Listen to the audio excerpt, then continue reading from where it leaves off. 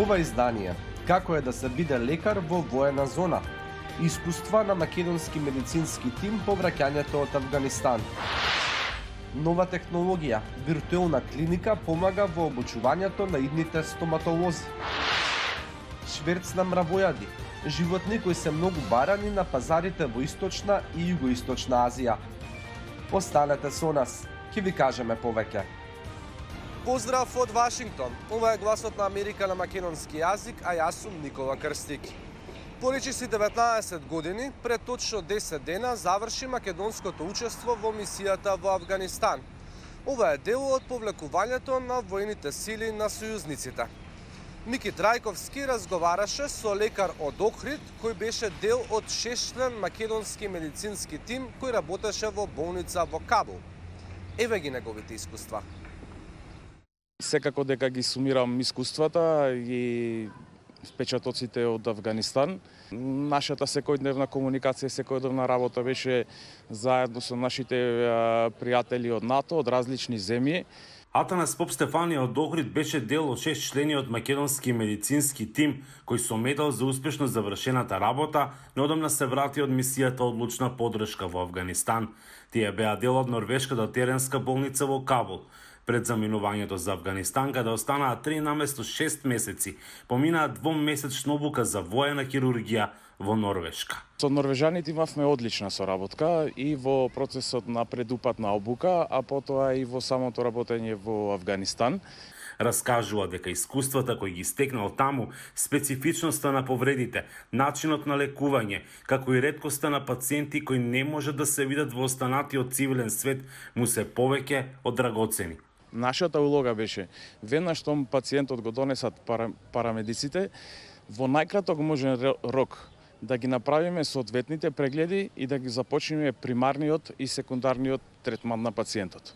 Повредите значи беа типични воени повреди. Значи станува збор за огнострелни повреди, станува збор за експлозии, станува збор за е, повреди стекнати со од е, шрапнели и така натака. Беше предизвик. Директен контакт со афганистанското население немале, единствено само со повредените пациенти, припадници на афганистанската национална армија. А, ние бевме а, во самиот град,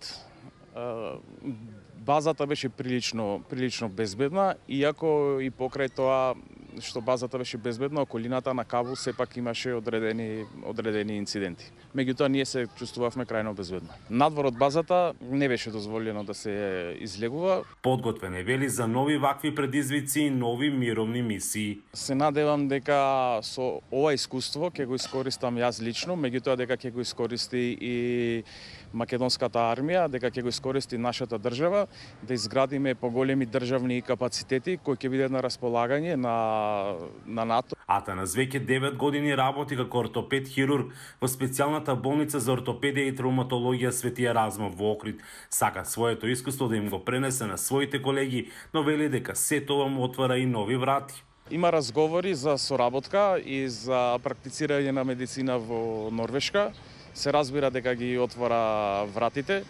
Моја примална цел е да останам тука во Охрид и во Македонија. Северна Македонија ги повлече сите своји војници од Афганистан во согласно со одлуката на сите земји членки на Алијансата за завршување на мисијата одлучна подршка. Во изминативе 19 години, почнувајќи од 2002, армијата во рамките на војните мисии ИСАФ, а потоа и мисијата наследник одлучна подршка, учествуваше со 3500 припадници. Од Дохрид за гласот на Америка Мики Трајковски.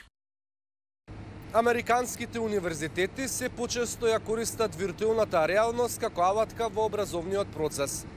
Нова технологија им помага на идните стоматолози да учат и вежбаат преку симулирани операции и интервенции. Со вако виртуелен уред, студентите по стоматологија може да се соочат во стоматолошка клиника за виртуелна реалност. Во овој виртуелен свет, тие може да научат за стоматолошки алатки, па дури да извршат хируршки зафат на забен имплант на виртуелен пациент. Во медицинското образование постои симулација за пракса. Студентите мора да прават повторувања повторно и повторно, се додека не ја постигнат компетентноста што ја сакаме. Со овој метод тие може да научат сами дома без ограничувања на времето и на просторот. Кортино Сукотио од Универзитетот во Илиноис во Чикаго ја разви програмата за симулација на забен имплант со Марку Сантосо, експерт за надоградена и виртуелна реалност на Универзитетот во Флорида itu Нашите вештини и експертиза се дополнуваат. Тој е добар во стоматологијата, а јас сум добар во надоградената и виртуелната реалност. После разговорите на мојот час, тој изработи кориснички студии. Во текот на целата 2020 година, Сантосо и неговите студенти работеа во нивната лабораторија за да развијат прототип, кој потоа го тестираа со Котио и неговите студенти, вклучително и студентката Стефани Шрајбер. Како студентка, програмата ми помогна да ја научам постапката на поставување на забни импланти, целосно внесувајќи ме во стоматолошката работа. Резултатите од тие тестови беа дел од студијата за придобивките од виртуелната стоматологија, објавена во журналот за стоматолошко образование – Иако овој метод не е толку ефикасен како практичното учење, нивните студии покажаа дека може да го подобри стоматолошкото образование и да послужи како алтернативно решение за предклинички вештини, како што беше случај со затварањето поради пандемијата. Kita tutup tiga bulan. Нашето училиште беше затворено три месеци. Студентите платиле 100.000 долари за годината, но училиштето не можеше да ги прими. Сакаме ова да биде поттик за размислување за користа од виртуелната реалност во образованието. Good morning, Mr. Andrews. Нивната поголема цел е програмата да стане главен тек за стоматолошко образование, зашто сепак признаваат дека ќе бидат потребни години да се постигне.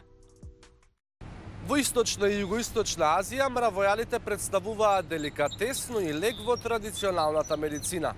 Па шверцот на овие животни носи и многу пари.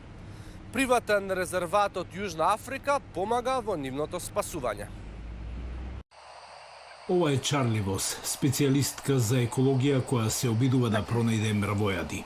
Држејќи антената а бара сигнал од предавател прикачен на малиот лушпест цицач. Овој женски мравојат лови мравки. Во октомври минатата година таа беше уловена, пронајдена во багажник на автомобил во полициска акција што ја спаси од веројатно нелегален извоз. Мравојадите се многу барани во Источна Азија заради нивното месо и особено заради лушпите, кои се користат во традиционалната медицина. Овој мравојад се чини дека е во добра здравствена состојба. Значи, знакот за здрав мравојат е дека оди со опашката нагоре. Исто така оди само на неговите две задни нозе.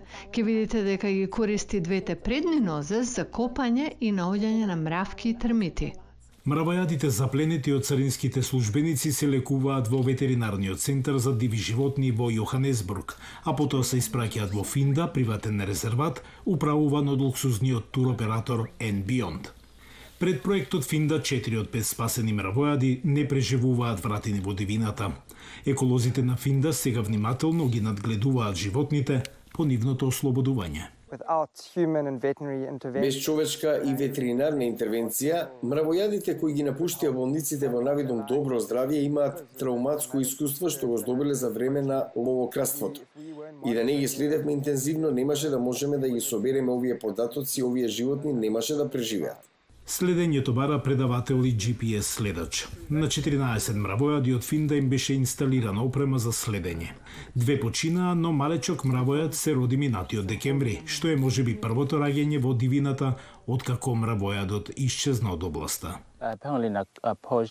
Мравојадите се ловат поради традиционалната медицина. Би сакал оние кои ќе најдат мравојад на патот или на друго место да го донесат на вистинското место. Резерватот Финда и неговите партнери имаат за цел да ослободат доволно мравојади за да ја зголемат нивната популација, сама да може да се одржува. Тоа е се за ова издание на Newsflash.